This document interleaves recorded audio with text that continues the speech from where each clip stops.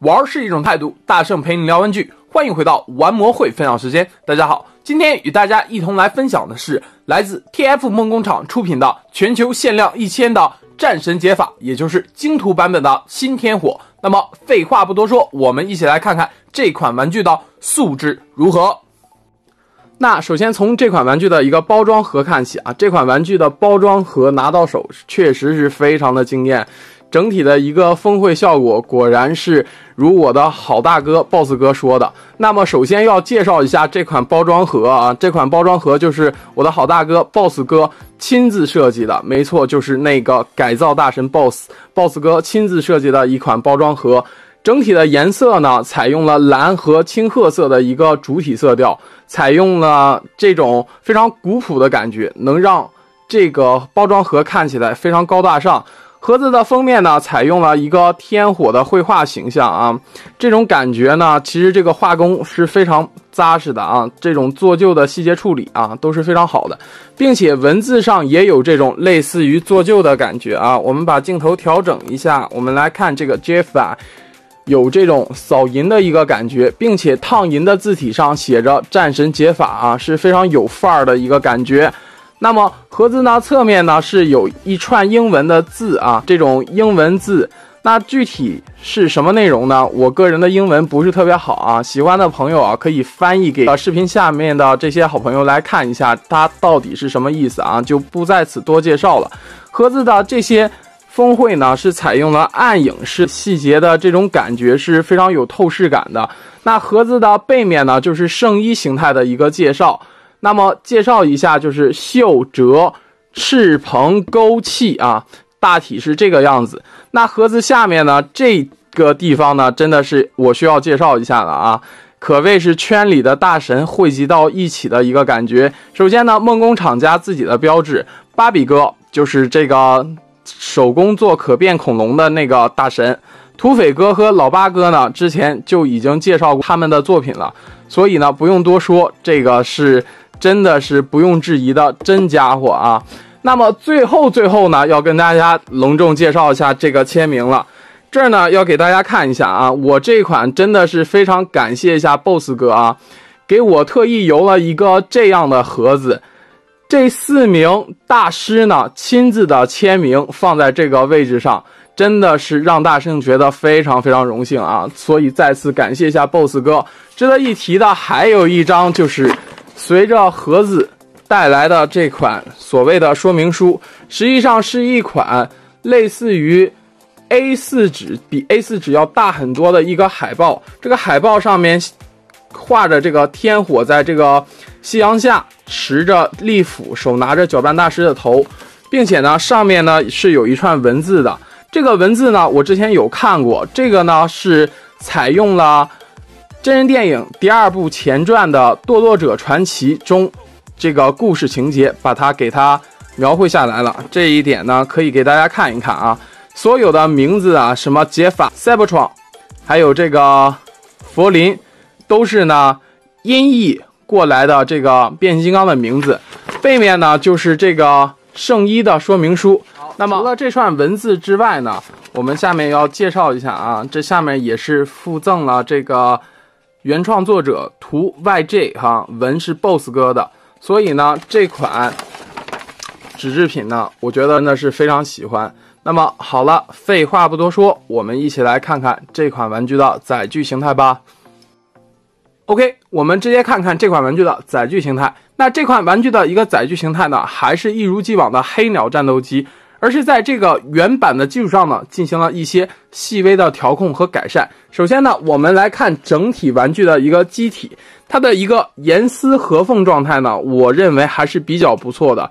但是呢，一会儿呢去和原版呢有一个对比，可以去做一个展示。那这个声光的按钮在这个尾部这一个凸点的一个位置，我们按动它。它就会有这个起飞的一个声音啊，那整体的一个颜色呢，也是通过不同的角度，这种金属的光泽感是非常不错的。那么，我们直接把这款玩具的一个原版请出来，和大家做一个展示。那由于这个镜头里这两款玩具实在是太大，所以呢，没有办法完全进行一个展示啊，所以跟大家简单的来看一下这两款玩具的一个区别。那最大的一个区别呢，就是从颜色的发色方面，这款原版的是一个黑色的，而这款呢是金属色，整体的这个摸起来的感觉呢，原版是这种光滑的面，而这个金属色的啊是这种磨砂的质感啊，非常舒服。从颜色方面呢，也是有了一定的改善。我们把这两款飞机稍微竖起来，跟大家做一个展示。这个合缝方面呢，我认为原版呢要优于这个新版天火。毕竟呢，新版天火有了一些拆件的部分，所以呢，在一些角度来说，它合缝的一个精准程度呢，能稍微逊色一些。但并不是说缝隙差别的非常大啊，这一点各位朋友可以放心。然后呢，就是这个颜色方面，我们可以看到这个飞机机翼上面的这个红色条纹，这个原版是采用了鲜红色，而这个版本呢，采用的是一个暗红色的一个感觉，而整体的暗红色呢，加上这个金属色，更加的符合实际中的一个状态。再者，一个比较不一样的地方呢，就是它的尾翼部分，原版是一个。派系标志加上一个臭鼬标志，而这个呢，把这个整体的一个构图结构也改了啊，改成了真正的飞鸟战斗机上的一个标志，加上臭鼬的标志。唯一我觉得哈比较可惜的一个点呢，就是侧翼的部分。我们来看这个侧翼，新版的金属色呢是光秃秃的，什么没有啊？而原版呢是有一个派系标志的啊，这个标志呢真的是很扎眼。如果以后呢有卖这种。天火的贴纸的话，我相信我会买一个去贴到这个位置，来圆一下我这个小小的梦想。那整体的飞机状态呢，就是这个样子啊，整体的效果呢也是非常不错的。最后呢，我们再来看一下这款玩具的一个底盘吧，简直的是，嗯，提到这个底盘呢，对比性也真的是非常明显了。相信我不用多说，大家也应该明白。那么好了，话不多说，我们一起来看看这款玩具的其他形式吧。好，话不多说，我们一起来看看这款玩具的一个对比情况。那么在之前呢，已经分享过 TF 梦工厂出品的新天火。那么感兴趣变形和一些可动方面的朋友呢，可以看一看我以往的变形视频。那么今天呢，只是对这款天火与原版天火的一些不同以及。所谓的圣衣形态进行一些简单的解说。首先呢，从颜色方面呢，我就觉得这一次的新天火真的是要好很多。那这一次呢，在合会上已经介绍了，是由土匪哥和八哥啊这两名大神呢进行颜色的补强。那么这两款玩具呢，在镜头前呢，我相信已经不用我多说，已经有了一个高下立判的对比。那么我们再来看一看这款玩具的一些细节方面。首先呢，在头雕方面，这一次头雕呢也是采用了一个软胶情况，但是呢，在原版上的这种软胶的质感呢，在金属色的一个涂装下呢，显得更加的真实，非常的有生动感。头雕呢也是有这个声光效果的，按动胸口的一个联动呢，就可以触动这个声光效果，整体的。身上的骨架呢，采取了一种自洗的感觉。一些胸口的阴影部分呢，比方说胸口啊，一些胳肘的一些地方，腿部都采用了一些暗影的处理，压深了它的一个颜色，提高了亮度，使这款玩具的整体效果又变得更加的有质感。胸口的金色呢，也不是纯金色，而是进行了一些。像类似于烫金色的感觉，并且呢，边缘进行了烟熏妆的处理，使这款玩具的质感呢很有一个质感，整体的一个感觉呢方式啊都是特别好的，包括里面的细节呢丝毫不马虎。我们转动腿部，里面的金色涂装呢涂的也是非常匀称，并没有一些溢漆。我观察到了，包括这个手部的地方，它做出了一些。类似于做旧的感觉，整体的漆面呢也是有了一个非常好的一个质感，所以说拿到手的这个玩具呢，真的是非常的值得推荐。还有一个脚部的地方是我个人非常喜欢的，大圣的收藏里多数有一些赛星纹的玩具刻画。而这款玩具的点睛之笔呢，我就觉得是在脚部的这个金色的赛星纹刻画。包括暗影的处理和自洗的一个过度渐变，使这款玩具看起来真实又不唐突，在各种角度上看起来效果如此的逼真。就是在这个背板的地方，我们把背板掀开，可以看到大圣手上这款呢是零零四七，也就是每一款玩具它的编号是不一样的。不知道你拿到手的这款玩具它的编号是怎么样的？那么我们再来把这两款玩具。摆到镜头前，让大家去看一下。不论是从细节还是涂装方面，这款玩具的涂装真的是非常精美。而且呢，我觉得这个玩具，你单独去找一个人进行一个涂装的话，我觉得这个价位也是本体玩具拿不下来的，就是这个样子。那么废话不多说，我们一起来看看这款玩具的圣衣形态吧。那么，OK，话不多说，我们一起来看看这款玩具的一个圣衣模式吧。那这款玩具呢，在和原版的基础上呢，它是一样的。首先呢，我们需要把一些多余的配件呢，给它进行一些插拔。那这些地方呢，就是凸点和凹点的一些变形，我们只需要把这些地方进行一个插拔。值得一提的是，这个地方呢是十分的紧实的。你拔的时候呢，你从底部的地方把它往上抬，就把这个地方拔下来了。拔下来之后呢，整个天火整体的一个感觉就已经清爽了不少。那么配件的地方呢，我们首先来说一下吧。这个地方呢，首先它是附带了一个战刃斧的一个感觉，和原版的是一样。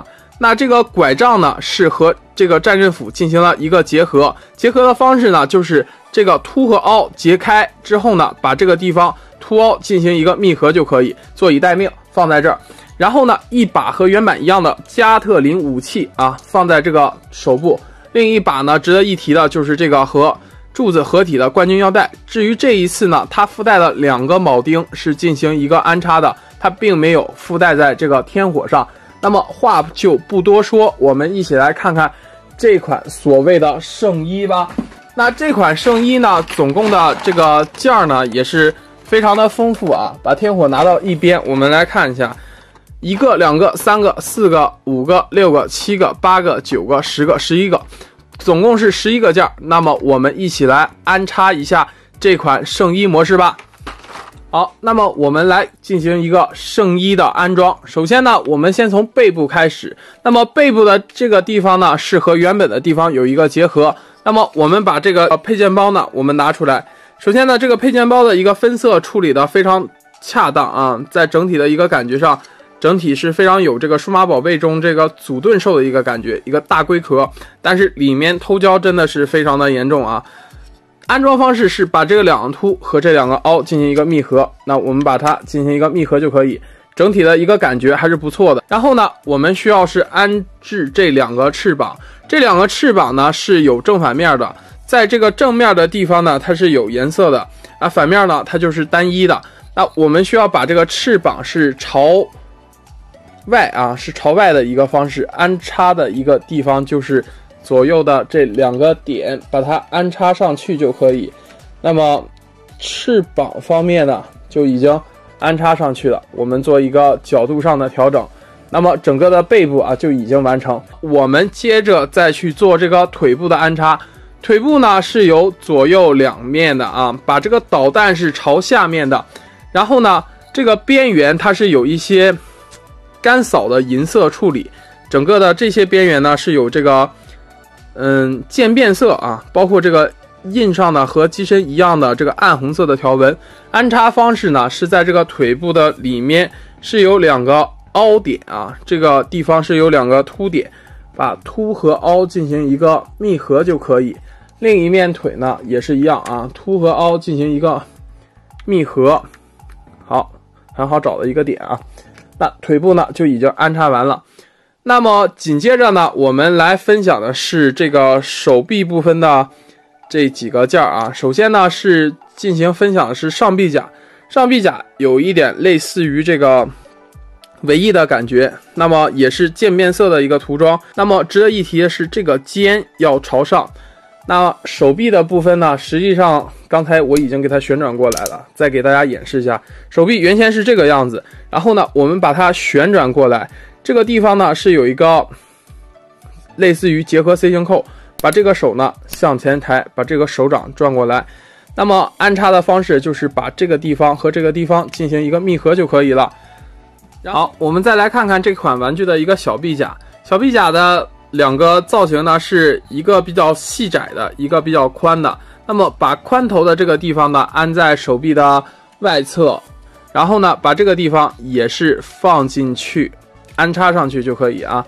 那一只手臂的一个外甲就好了。另一只手呢，我们也是把它旋转过来，并且安插上去，把这个地方给它安到这个位置上，把这个粗的这个地方安到这个外甲上。OK，外甲，把这个里面细的地方按到这个甲，那么这款天火的一个圣衣形态啊，就已经安插完成了。然后呢，再把它的这个武器，就是这把已经有这个金属色着装过的这个斧子，给它安插上去啊，到这个样子啊。